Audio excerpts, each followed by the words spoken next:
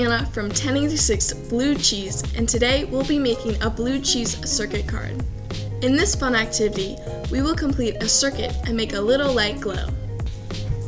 Before starting, make sure you use proper safety equipment and have a buddy to work with you.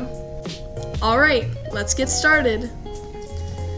You will need a ruler, scissors, scotch tape, a CR2032 battery, 6mm copper tape, a 5mm LED light, and the circuit card template of your choice, which can be found in the video description. First, fold the card in half so that the design is on the front and the circuit is on the inside.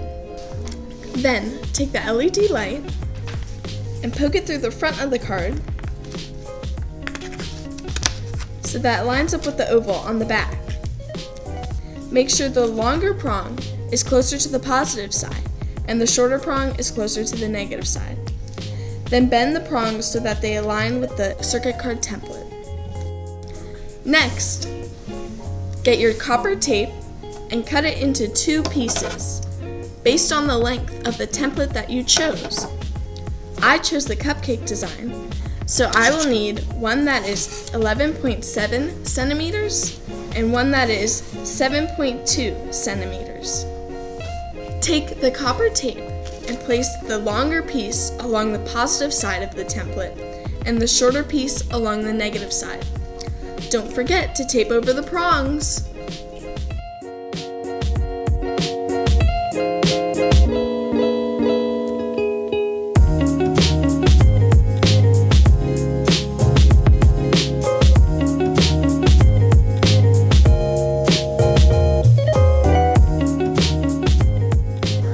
After finishing the taping process, take the battery and the scotch tape and place the negative side on the copper tape.